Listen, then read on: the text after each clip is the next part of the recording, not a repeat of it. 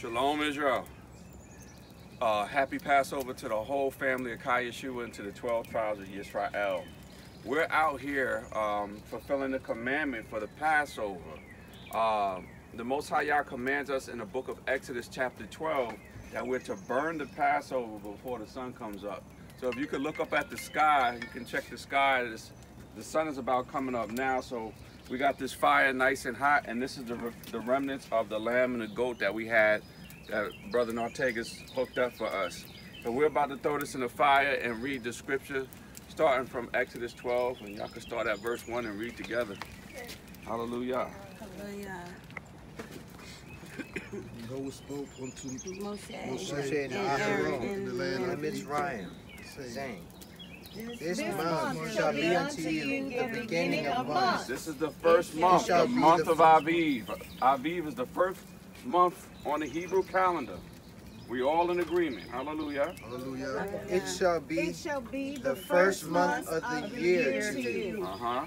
Speak ye unto all the congregation of Israel, Uh-huh. saying, In the tenth day of this month, they shall take to them every man a lamb, and according to the house of their fathers, a lamb for an house. So the tenth day of the month would be from that Sabbath leading up to the Passover. That Saturday, that Shabbat through this Wednesday night would be the tenth through the fourteenth. And we're now here on Thursday. So go ahead. And if the household be too little for the lamb, let him and his neighbor next to his house take it according to the number of the souls, every man according to his eating. So if the lamb is too too much for just you to eat, then you get together with other families. This is a commandment that helps keep us together, to keep the feast together in unity. Go ahead.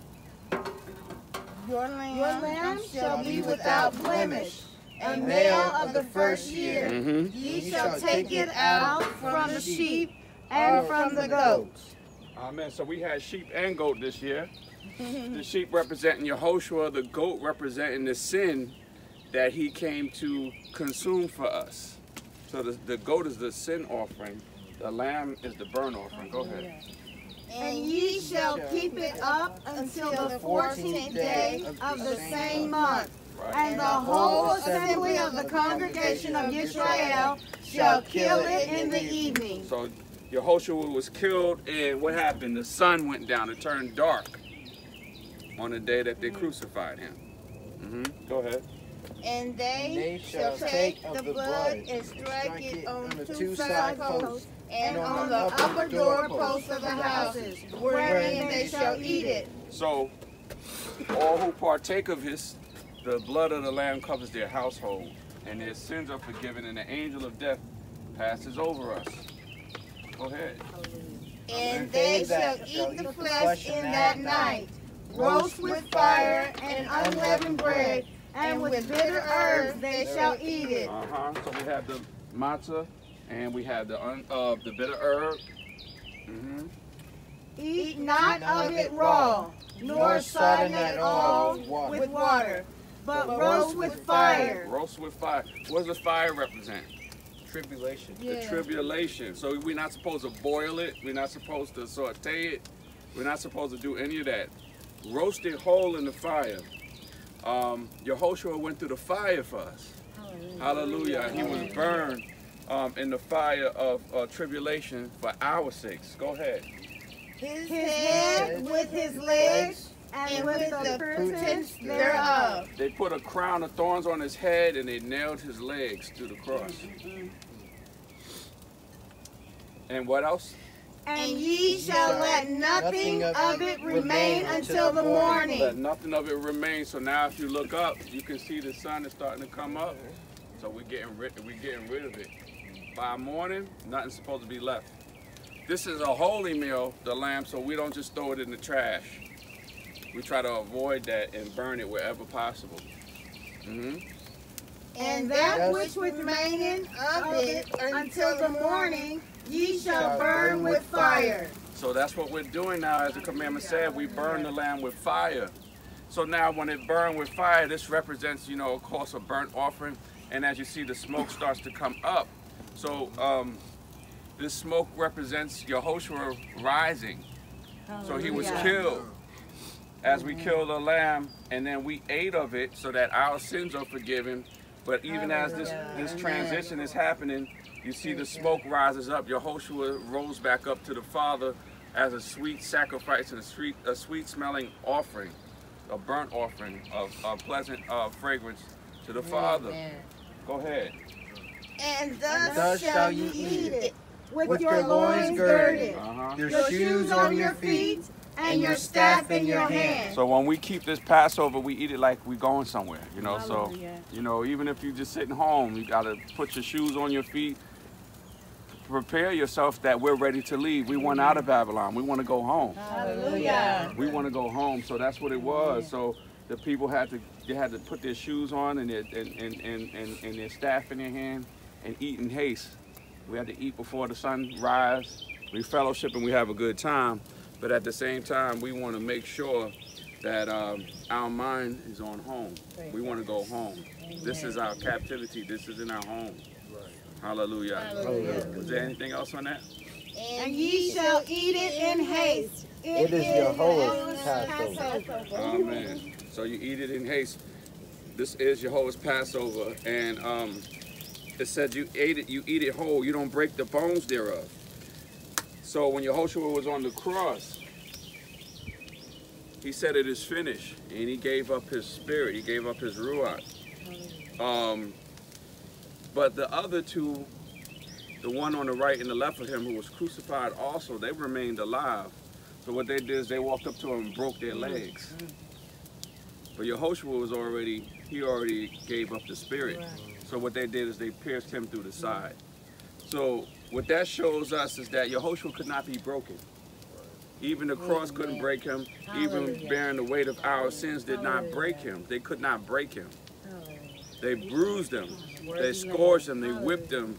They put him through the fire, but it didn't break him. So all of this is represented in the way that we eat our Passover, and this is what makes this such a special occasion. And when all of us are, are, are keeping this feast on the calendar, the Enoch calendar, then we all keep it at one time, and all of this this this smoke offering goes up to the Most High simultaneously all around the world. So this is why it's so important for us to understand Enoch's calendar and the sign of the time. As you can see, if you just look at this tree here, um, if you if you can see it, it's already blossoming now. It shows us that we're in the proper month of Aviv. Things are starting to grow. You see the white flowers budding all over the trees. The gardens actually starting to uh, to sprout again, and we didn't even do anything to it. It's just starting to sprout. You know, um, so um, this shows us that this is our new year, and this is the appointed time for our feast and so forth. Passover will always, always, always, always be on a Wednesday evening, the midst of the week. Yahoshua was crucified, and in three days and in three nights he rose up. So if he's crucified and killed on a Wednesday, Wednesday evening, we have Thursday, Friday, Saturday. He, ro- he rose on the Shabbat. Yahoshua is Adonai, or Lord of the Sabbath day. So anybody keeping the Passover on any other day, their count will always be off. Because Yahoshua is the center of time. He's at the center of the Mazzaroth. Every feast and every uh, uh, uh, account of, of time reckoning has to be focused and centered around the Messiah. If it's not, then it's an error. So this is how we ensure those things. And if you always um, take, if, if Passover is the 14th day of the month, and it's always going to be on a Wednesday because three days and three nights will always take us to Shabbat with him rising up. If we start at the 14th and count 14 days backwards, that's going to lead us to another Wednesday. So we know the first day of the month, if we count 14 days backwards in time, that will take us to the first of the month, the first of the year. It's always going to be on a, a Wednesday evening. Always. Always, always, always. Any other count is off. That's how we ensure. So if we look at Yahoshua and we look at the Passover, we look at his death and resurrection. He resurrected on the Shabbat day, and that's uh, you know, we start counting the Omer after that. Then we know that we're in accordance with his death, burial, and resurrection. Hallelujah. Hallelujah. By Shem Praise Yahweh God. HaMashiach. as we're here doing this, we just wanted to share this with the family because a lot of people, uh, some people are aware of this and many are not. And this is the importance of the Enoch calendar. It keeps everyone in accord. You can't go wrong with the time, Right. the burial, resurrection, and all of that is all included in the calendar. And it always aligns with that, that resurrection on that Shabbat day, three days and three nights from that Wednesday. So we pray that this um, blesses you. It's kind of cold out here, and I know that smoke is getting y'all. we wanted to share this with the body of Khai Yashua and with Israel. So may the Most High bless you, and uh, we'll, we'll see you soon. Shalom. Shalom.